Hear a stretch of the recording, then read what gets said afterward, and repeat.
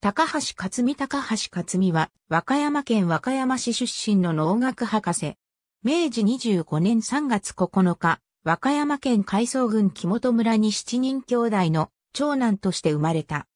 木本尋常小学校、旧制和歌山中学校を卒業。その後第三高等学校、東京帝国大学農学部農芸学科を経て、東京帝国大学院に入学し、在学中は脂肪の栄養に関する研究に専念した。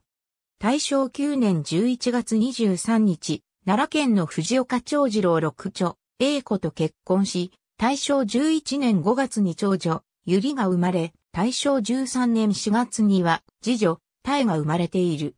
大正11年9月13日、日本科学会で、それまで存在は認められていたが、抽出が困難とされていたビタミン A をダラの肝油から分離、抽出することに成功したと発表。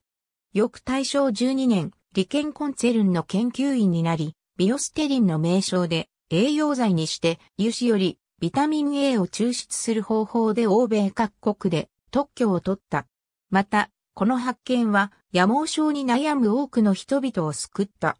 その後、同じくビタミン A の抽出に貢献した鈴木梅太郎と共に帝国学信賞を受賞し賞金を得たが、それを母校の和歌山中学校に全額寄付した。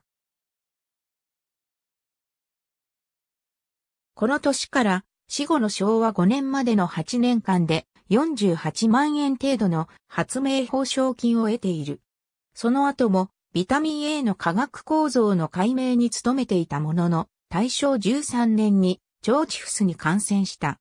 翌14年1月31日、東京帝国大学農学部では臨時教授会で高橋に農学博士の学位を授与した。しかし、その8日後の2月8日午前6時50分、ついに病を克服できず死去。去年 34?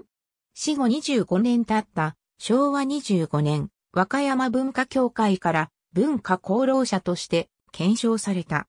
高橋に寄付を受けた頃から、和歌山中学校では理科分野に秀でた生徒のため、高橋賞を設けて、教育の一環として表彰した。第二次世界大戦の敗戦後、一時中止されていたが、現在は和歌山県内の中高生を対象に、日本学生科学賞と合わせて様々な研究に対して表彰されている。ありがとうございます。